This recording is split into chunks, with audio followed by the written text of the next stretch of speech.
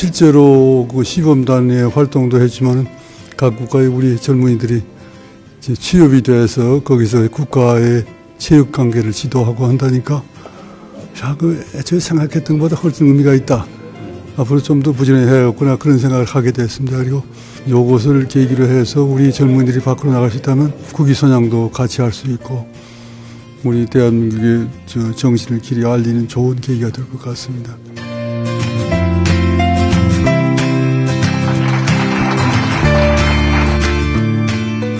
일단 제 스스로 마인드가 많이 변한 것 같습니다. 후진국이지만 행복 지수는 높은 것 같더라고요. 제가 좀 많이 반성하게 된 경험인 것 같고 그런 긍정적인 에너지들을 받, 받고 왔기 때문에 제 앞으로 어떤 일을 하더라도 그런 기운이나 경험을 통해서 좋은 길로 걸어갈 수 있을 것 같습니다.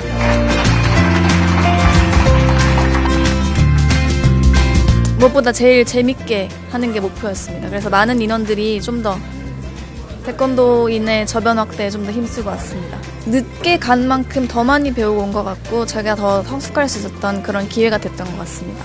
저는 기회가 된다면 또 한 번 가고 싶고 그리고 대학생, 재학생들이 많은 저는 졸업생이지만 재학생들은 누구나 한 번쯤 꼭 가봐야 할 그런 좋은 코스라고 생각하고 정말 적극 추천합니다.